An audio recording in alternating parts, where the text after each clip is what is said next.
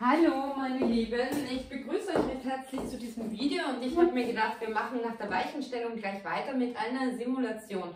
Und zwar eine Simulation, die schon oft von euch angefragt wurde.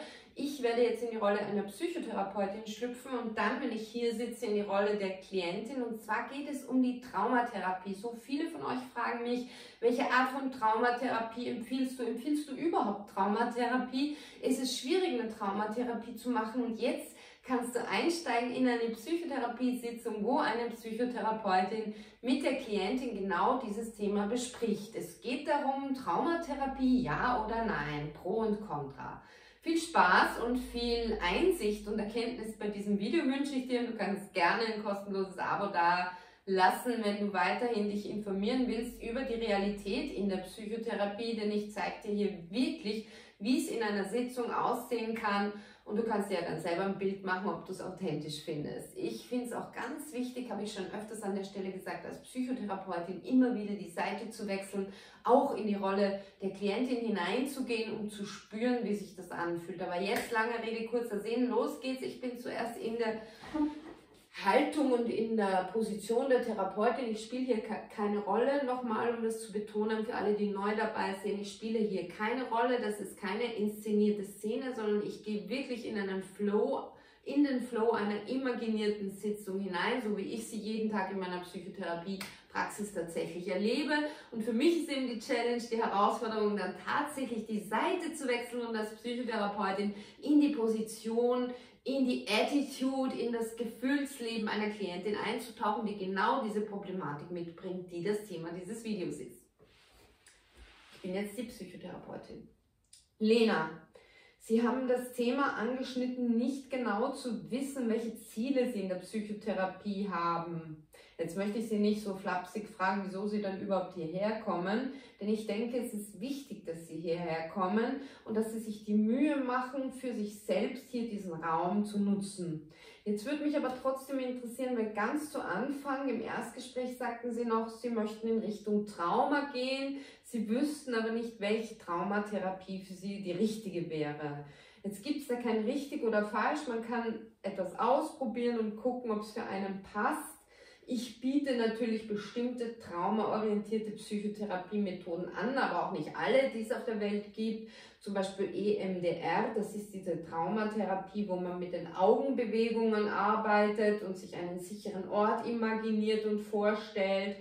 Das biete ich nicht an. Ich habe zwar diese Ausbildung, aber ich habe da einfach keine guten Erfahrungen mitgemacht und deswegen würde ich Sie einfach fragen, was wissen Sie denn jetzt, Ihr Wissensstand zur Traumatherapie und was verbinden Sie gefühlsmäßig damit, auch so nicht nur an Gefühlen, sondern auch an Erwartungen. Welche Erwartungen sind jetzt für Sie an eine Traumatherapie geknüpft? Was sollte am Ende dieser Therapie anders sein? Fragen über Fragen, liebe Lena. Fangen Sie mal an. Ja, wo fange ich an, wo höre ich auf? Das ist schon richtig, dass ich zu Beginn der Psychotherapie, ähm, dass ich da von Traumatherapie eigentlich ausgegangen war. Also ich kam zu Ihnen, weil ich glaubte, wir würden gleich eine Traumatherapie beginnen. Und dann haben Sie mir gesagt, dass das eben nicht so einfach geht, weil man da zuerst in der Psychotherapie sich kennenlernen muss und Beziehung aufbauen muss. Und ich finde es eigentlich nicht so schlecht, dass Sie es ansprechen, weil irgendwie beschäftigt es mich die ganze Zeit. Ich warte immer, dass sie mal einen Startschuss geben, quasi, dass wir die Traumatherapie mal anfangen. Und natürlich bin ich, ich würde sagen, so zerrissen im Inneren. Einerseits bin ich neugierig, wie so eine Traumatherapie aussieht. Andererseits habe ich auch irgendwie Schiss davor, weil ich mir denke, womöglich, also eine Freundin von mir, die hat so eine Traumatherapie gemacht, ne, in der, in der Tagesklinik und die war dann der ging es grottenschlecht währenddessen. Also die war dann im richtigen Gefühlstief und so richtig am Boden und der geht es bis heute nicht besser. Also vielleicht, keine Ahnung, haben die das auch mit ihr falsch gemacht und, und habe ich da jetzt irgendwie Vorurteile, aber natürlich habe ich auch irgendwie Angst und Sorge, dass das nicht gelingt. Das ist ein wichtiges Thema, das Sie da ansprechen, Lena, denn es, es besteht tatsächlich eine Gefahr in jeder Traumatherapie. Es ist ein Risiko dabei. Ich würde es vergleichen mit einer Operation, einem chirurgischen Eingriff.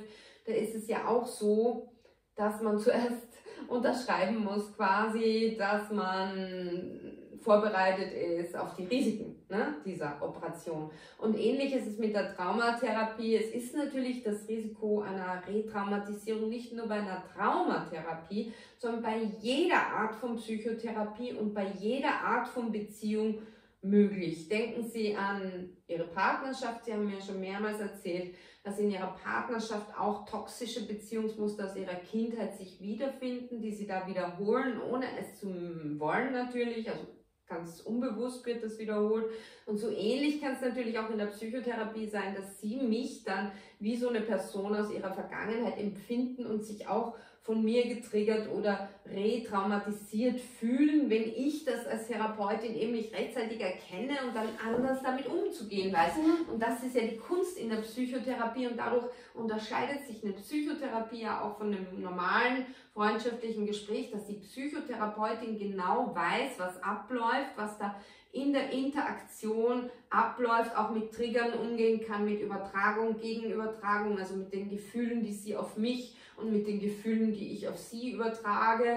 Und all das ist eben wirklich eine Frage des Fingerspitzengefühls und, das haben wir ja auch anfangs gesagt, eine Frage des Vertrauens. Also ohne Vertrauen sollte man auf gar keinen Fall, ohne gegenseitiges Vertrauen, also Vertrauen von Ihnen zu mir und mein Zutrauen in Sie, in Ihre Fähigkeiten, ähm, sollte man keine Traumatherapie machen ohne dieses Grundvertrauen. Und deswegen braucht es auf jeden Fall Zeit. So eine schnelle Traumatherapie kann in jedem Fall nur oberflächlich wirken. Soll heißen, ist es dann überhaupt fragwürdig, ob, sich, ob es sich um ein Trauma handelte oder eher um eine Phobie oder eine aktuelle depressive Episode, wenn man was so schnell wegbügeln kann durch Gespräche, durch therapeutische Einfühlsamkeit.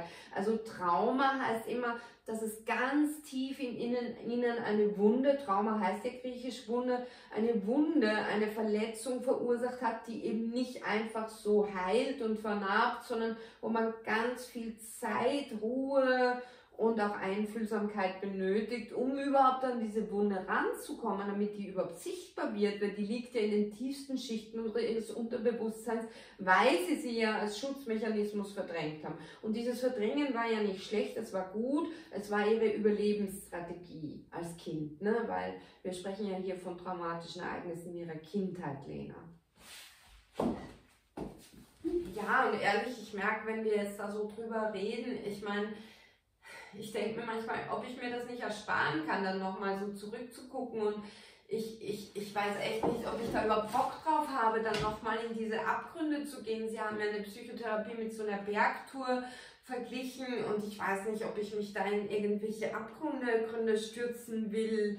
Äh, oder ist Traumatherapie dann eher so, dass man sich da abseilt, also durch ein Seil gesichert ist und nochmal diese Abgründe der Vergangenheit hinuntergeht, um nochmal zu gucken und dann hat man aber das Seil und kann sich wieder hochziehen? Oder, oder sind Sie diejenige, weil Sie ja gesagt haben, Psychotherapeutin ist wie ein Guide auf einer Bergtour, sind Sie diejenige, die mich dann am Seil wieder sichert und hochzieht?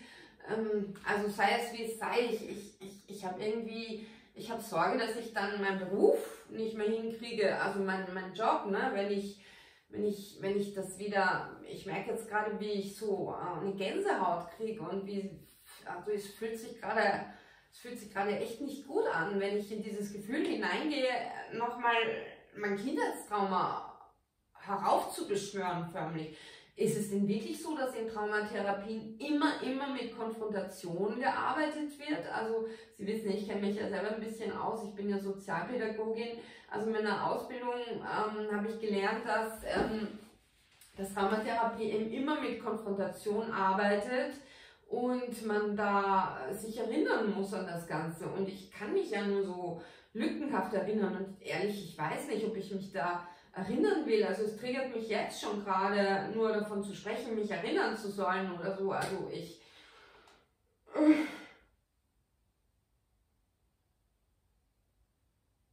Ich kann das glaube ich nicht. Nein, ich kann das nicht.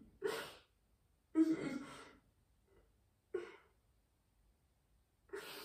ich, glaube nicht, dass ich da nochmal hingucken kann.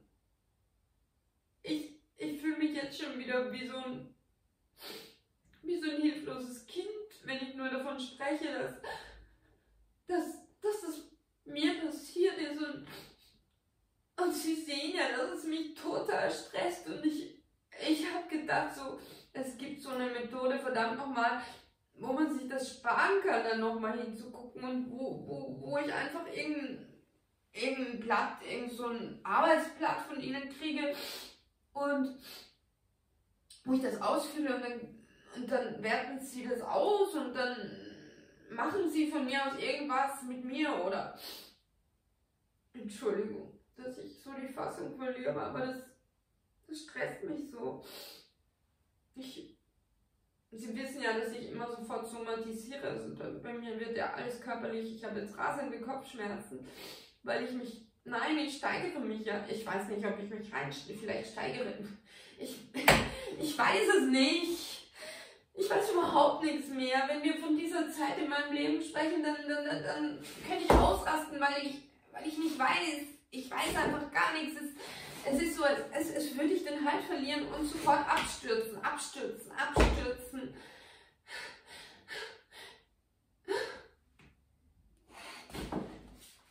Lena, beide Füße auf dem Boden. Beide Füße jetzt bitte auf den Boden. Setzen Sie jetzt beide Füße auf den Boden. Ja. Rücken gegen die Rückenlehne und atmen. Tief ausatmen, lange ausatmen. Lassen Sie die Luft rausfließen, ja. Und beim Einatmen, Lena, achten Sie bitte darauf, dass sich, Sie kennen das, die Bauchdecke hebt.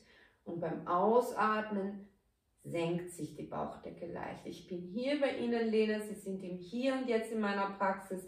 Es ist kein Grund der Welt, um in Panik zu kommen, aber es ist okay, wenn Sie das jetzt gerade stresst. Dieser Stress wird jetzt gleich wieder vorbei sein. Dieser Stress wird jetzt, Lena, gleich wieder vorbei sein. Ihr Atem fließt von ganz allein. Die Gedanken sind wie Wolken, die im Himmel sind und verziehen sich von selbst. Es ist alles gut, Lena. Ich bin hier bei Ihnen, Sie sind bei mir in der Praxis. Draußen ist regnerisches Wetter. Es ist 4 Uhr nachmittags, Lena. Und Sie sind hier in Sicherheit.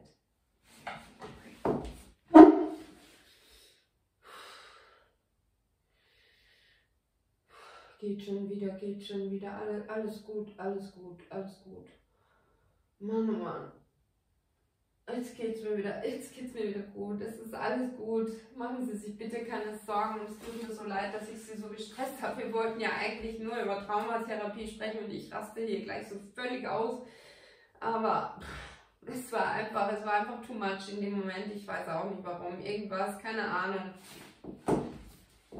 Lena, Sie brauchen nichts zu erklären, geschweige denn zu rechtfertigen. Es ist gut, es ist okay und Sie dürfen hier so sein, wie Sie sind. Sie sollen, Sie müssen hier so sein können, wie Sie sind. Ja, Lena. Und das war schon Traumatherapie, was wir heute gemacht haben. Cut, meine Lieben. Traumatherapie ist, nicht, ist nichts von der sonstigen Psychotherapie komplett abgeschnittenes, isoliertes, wo du dann sagst, so, ab jetzt machen wir Traumatherapie bis hierhin und dann ist es keine mehr. Es geht ja immer um Kränkungen, um Wut, um seelische Verletzungen, um Trauer, um Verlust, um Schmerz, um Angst vor Verlust, um Angst vor Enttäuschung, um Enttäuschung, um Frustration, um Versagensängste, um Selbstwertzweifel Darum geht es in der Psychotherapie. Es geht auch um Stabilisierung, damit du eine psychische Stabilität erreichst, die dir ein qualitätsvolles Leben und Self-Care ermöglicht. Diese Fähigkeit, selbstfürsorglich zu sein, die das Um und Auf ist, um glücklich und zufrieden im Leben zu sein. Denn wenn du dich um dich selbst nicht kümmern kannst und nur um alle anderen, wirst du auf der Strecke bleiben und bist nicht glücklich und zufrieden. So einfach ist der Umkehrschluss. Und was ist jetzt wichtig in einer Therapie wie dieser, wo es schon schwerfällt, überhaupt über Trauma zu sprechen, wo schon das Wort Trauma ein Träger ist? Es ist ganz wichtig, Geduld zu haben, hier nicht die Brechstange anzusetzen und das Trauma quasi wie so ein Tresor zu öffnen und dann zu gucken, was ist drinne und dann wieder das Tresor zu verschließen. Nein, ist nicht gut. Stichwort Tresor. Es gibt natürlich die euch ja schon hoffentlich von meinen Videos bekannte Tresorübungen und wenn sie noch nicht bekannt ist, dann verlinke ich vielleicht das Video, wenn jemand so lieb ist und mir das mitteilt, welche, welcher Link das ist, verlinke ich das gerne für euch in den Kommentaren. Ihr könnt ja leider in den Kommentaren selber nichts verlinken. So, und Traumatherapie ist dann, wenn eine Person sich öffnet. Ich möchte jetzt gar nicht von irgendwelchen PTBS, Spezialtherapien beginnen. Ich möchte weder die Dressurübung hier proklamieren und bewerben, noch möchte ich Promotion für EMDR oder eine andere explizite Traumatherapie machen, sondern ich möchte dich ermutigen, Vertrauen zu schenken, Vertrauen zu entwickeln, achtsam zu sein dabei, mit wem du diese Vertrauensbeziehung hast, auch zu gucken, ob du dich mit deinem Psychotherapeuten auf eine traumabezogene Psychotherapie einlassen kannst und möchtest und was es dazu braucht, um mehr Vertrauen zu fassen und so die Basis einer traumaorientierten und somit auch traumaheilenden Psychotherapie zu schaffen. Vielleicht hast du Erfahrungen mit verschiedenen Traumatherapie-Methoden. Das ist sicher für die Allgemeinheit hier auf diesem Kanal von Interesse.